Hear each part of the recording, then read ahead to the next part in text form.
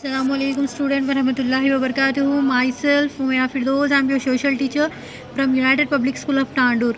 So Indian rivers and water resources. Okay.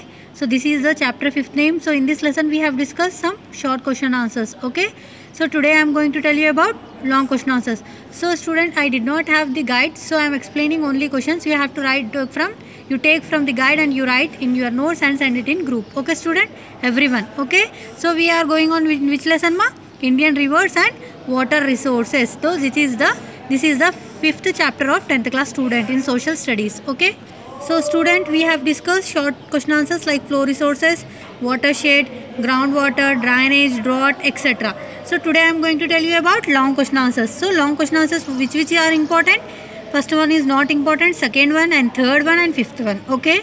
So these three question answers is important. Identify and list arguments that would support or oppose that the use of groundwater in various contexts such as agriculture, industries, etc.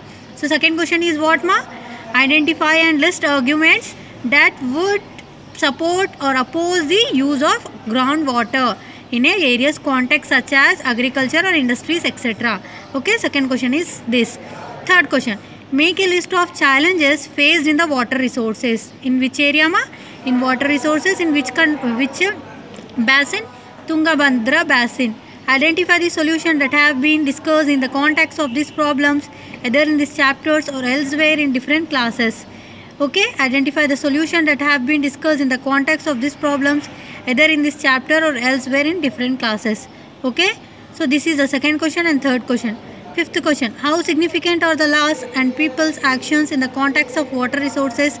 Write a short note based on these ideas discussed in the two last phase sections of the chapter. So, what you are saying, student? How significance of laws and people actions is going on? So, they are water resources. Write a short note here asking on the based on the which ideas discussed in the last two section of the chapter. So, we have the two chapters section, two chapters you have to discuss in this lesson okay? So i did not have the guide so i am not explaining in the guide. You see in the guide and write and without seeing by heart and write in your notes okay?